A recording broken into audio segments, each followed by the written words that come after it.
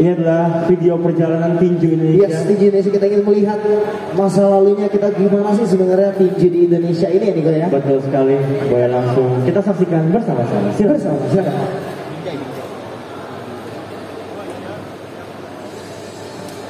dunia tinju tanah air.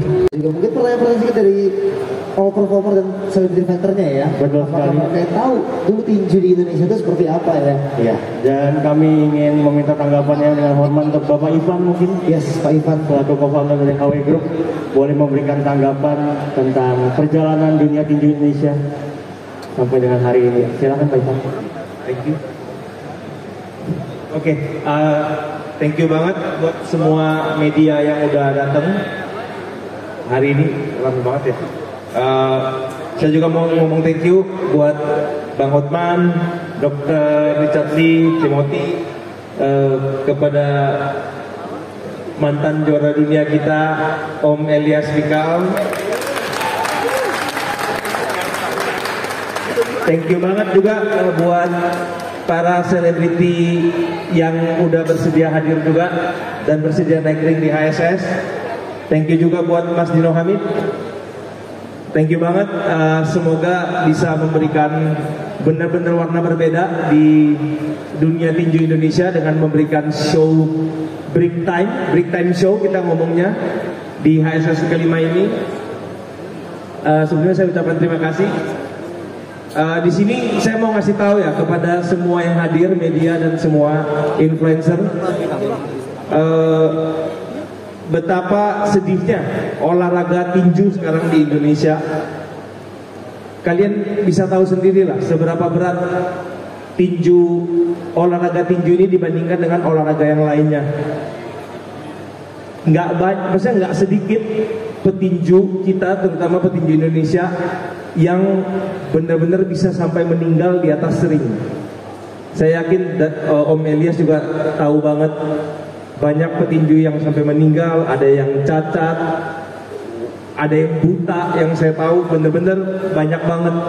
Dan yang sangat menyedihkan itu sampai sekarang, apalagi sekarang ya, tidak banyak yang menghargai olahraga ini.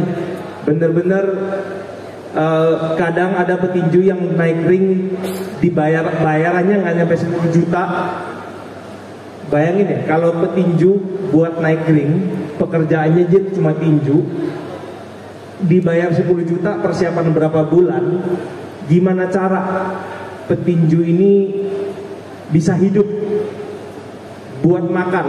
Apalagi kalau dia punya keluarga dengan 10 juta dia tanding kalau persiapannya aja tiga bulan kita ngomongnya berarti sebulan sebelum tanding itu cuma dapat 3 juta untuk dia naik ring jangankan buat dirinya sendiri gitu eh, jangankan buat keluarga buat dirinya sendiri aja kayaknya nggak mungkin deh GC-nya gimana Bayangin latihan 2 jam. Saya saya juga latihan, gitu. saya tahu. Abis latihan badan itu udah sakit semua. Dengan gizi yang nggak masuk, yang nggak cukup masuk, itu gimana cara dia bisa bertanding di atas ring? Gimana caranya petinju kita itu nggak mati konyol di atas ring gitu, nggak cacat konyol, karena nggak ada yang menghargai gitu.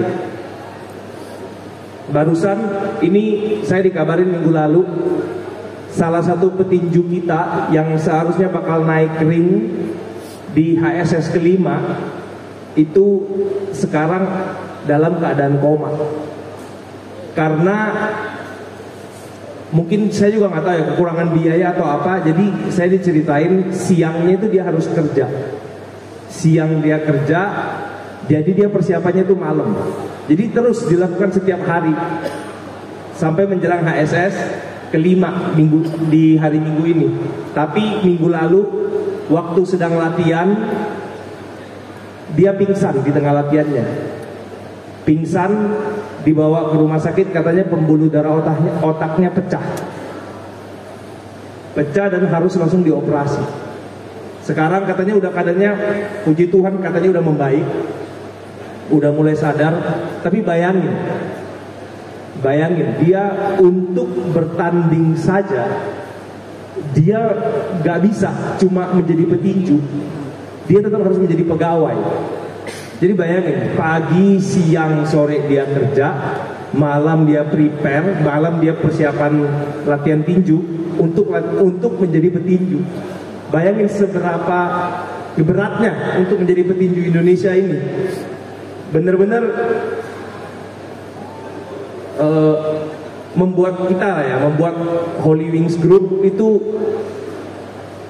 terpanggil lah, terpanggil. Jadi uh, kita dari Holy Wings Group dibantu sama beberapa rekan saya, kita mau membuktikan bahwa olahraga tinju ini olahraga yang benar-benar bisa dinikmati. Untuk bisa dihargai harus bisa dinikmati kan. Jadi saya mau bikin di HSS itu boxing yang bisa diterima oleh semua kalangan, bukan cuma pecinta tinju, tapi semua. Saya ingin buktikan bahwa tinju ini satu olahraga yang sangat entertainment, eh, entertaining. Jadi bukan sekedar cuma baku pukul, tapi benar-benar bisa menghibur seluruh rakyat Indonesia. Nah, apa yang beda di HSS 5 ini? Di HSS 5 ini kembali kita mengadakan pertandingan selebriti uh, dan selebgram influencer. Uh, sebelumnya saya mau thank you banget uh, buat Chef Arnold uh, main card uh, pertandingan selebriti kita. Dia udah bersedia untuk tidak dibayar oleh HSS. Ya, tapi karena dia artis mungkin dibayar sama sponsor banyak ya. Tapi dia bersedia benar. Tepuk tangan dong buat Chef Arnold. Dia bersedia untuk bertanding melawan kritikus makanan handal. Code Blue. Benar, tepuk tangan dong buat mereka berdua yang bersedia untuk mengisi pertandingan main card di HSS kelima ini. Thank you banget. Terus juga uh, saya juga mau ngucapin thank you buat chef saya. Dia bersedia juga naik di ring.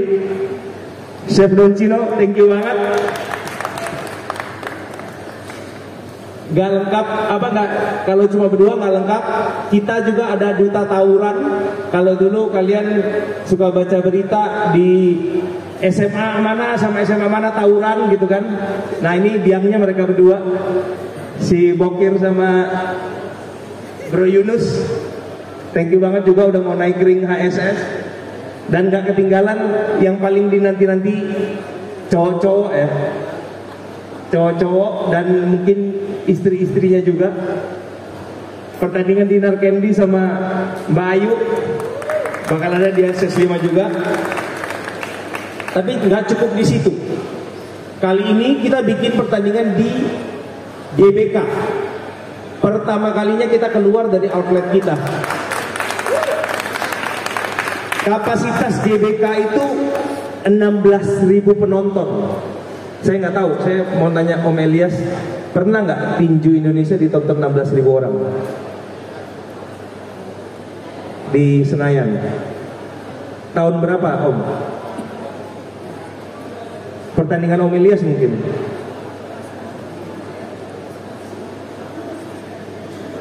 sorry sorry yang yang harus ini juara dunia pertama di Indonesia itu hanya saya. Semua penonton pun ada. Berapa puluh ribu orang yang dalam sana itu. Semua punya tidak yang masuk. Itu harus kita mencari petinju yang baik. Kita harus petinju betul-betul. Harus berjuang kerja keras-keras. Supaya dari bisa dari atlet yang baik. Bisa orang. Kasih tahu itu yang saya harapkan itu. Jadi kalau kita mau main sama petinju kita main pakai otak. Jangan cuma main asal-asal aja. Ini tapi itu berasa seperti itu itu ini ini. Maka lain mati kata saya mati sama juga yang penting kita harus berjuang. Kita berlatih betul-betul. Anak-anak apalagi ada-ada kelas Indonesia yang sekarang ini saya harap itu harus saya itu. Siap. supaya masyarakat Indonesia lihat mata dunia tuh wah ada petinju yang baru seperti Elias Pito baru lagi kan Siap. itu yang Saya janji sama Om Elias, Ya. saya bakal kembalikan masa keemasan tinju Indonesia di zaman Om Elias. ulangin basket. Tapi kalau uh, boxing sendiri aku bisa bela diri seperti itu. Dan mungkin banyak juga yang bilang kayak ngapain sih Dinar cari sensasi ikutan boxing segala. Tapi kan aku di boxing ini aku beneran latihan dan bukan cari sensasi. Aku tuh kan harus buat naik ke ring itu aku membuang beberapa job aku kayak misalkan uh, bulan ini harusnya aku ada show di mana di mana sebulan sebelum tanding itu aku mengurangin semua job aku seperti itu seperti itu dan buat di HSS 5 aku excited banget karena nanti tandingnya di arena Indonesia dan itu pertama kalinya outdoor seperti itu Heading no, no. Dinar main Oh, dong Bedding. dikit ya. Coach. Uh, manggil dia. coachnya lagi makan Wah. Kalau gitu coach sama kalau sama coachnya Don Cino boleh nggak boleh. Oh udah udah udah. Weh. Coach Becky silakan. Coach, silakan coach. Coachnya.